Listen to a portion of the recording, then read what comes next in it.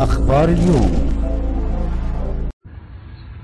طبعا الدنيا سخنة جدا بقى لها 3 4 أيام بسبب واقعتين حصلوا من ضباط آه، واحدة في الأقصر تقريبا واحدة في حتة تانية مش عارف هي إيه.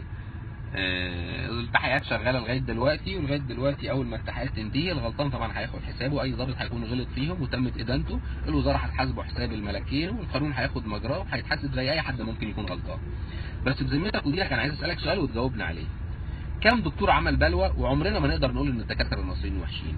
كم مهندس عمل مصيبة وعمرنا ما نقدر نقول إن المهندسين وحشين؟ وكام وكام في كل المجالات.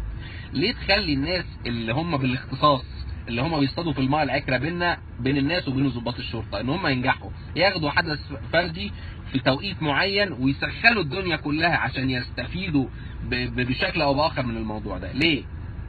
الناس دي لو عدت على ظابط وقالوا له سلام عليكم الظابط ما ردش عليهم الكلام هيقول لك شايف الظباط التنطيط فيهم لغاية دلوقتي. أي حاجة بتتقال. يا سيدي أكيد فينا ناس وحشة وأكيد فينا ناس كتير كويسة. أكيد فينا ناس آه، بتعمل بلوى أو بلاوي وفي ناس كتير مننا كويسة زي أي حد.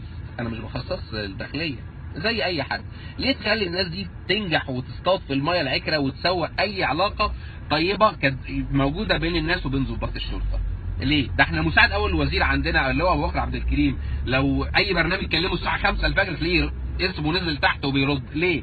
الراجل ده اللي صحاه من النوم الساعة 5 الصبح وكان ممكن يخلي أي حد تاني يرد ليه؟ ما هو بيحافظ وبيدور وعايز يخلي المنظر حلو. وأنا وغيري وغيري وغيري. ليه؟ عشان يخلي المنظر حلو. ما تخليش الناس دي تنجح. واحد دلوقتي بعد ما يشوف الفيديو يقول لك شايف الظابط شايف, شايف التمثيل؟ يا عم مش تمثيل. أنا بتكلم زي ما بتكلم معاك. بتكلم عادي زي خلق الله. وما قلتلكش وما طلعتش قلت لك وإحنا بندافع في الحتة الفلانية وإحنا موتنا في الحتة العلانية. أصل مرتباتنا أصل تسليحنا إحنا زي الفل وعمرنا ما اشتكينا والدنيا كويسة وده مش موضوعنا. ومش عايز يعني أخليك تبص لي من الحتة من الحتة دي. أنا بتكلم على حاجة معينة. ما تخليش الناس دي تنجح إن هي تبوظ اللي بيننا وبينكم من أي علاقة كويسة. ومش عارف أقول حاجة تانية بصراحة. السلام عليكم.